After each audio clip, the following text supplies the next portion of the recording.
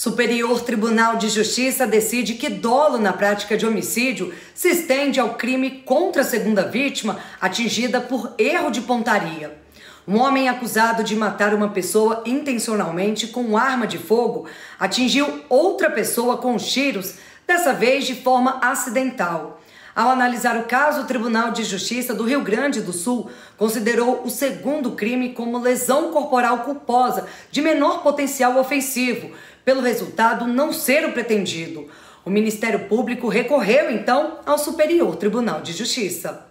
No tribunal, o relator do recurso especial, ministro Nefe Cordeiro, destacou que, para a jurisprudência do STJ, a norma do artigo 73 do Código Penal afasta a possibilidade de se reconhecer a ocorrência de crime culposo quando acontece erro na execução de crime doloso, que é quando existe a intenção. Dessa forma, para a corte, se houver um segundo resultado não pretendido, quando da prática de crime doloso, ele também deverá ser punido como doloso, mesmo que o erro na execução tenha sido causado por negligência, imprudência ou imperícia do autor.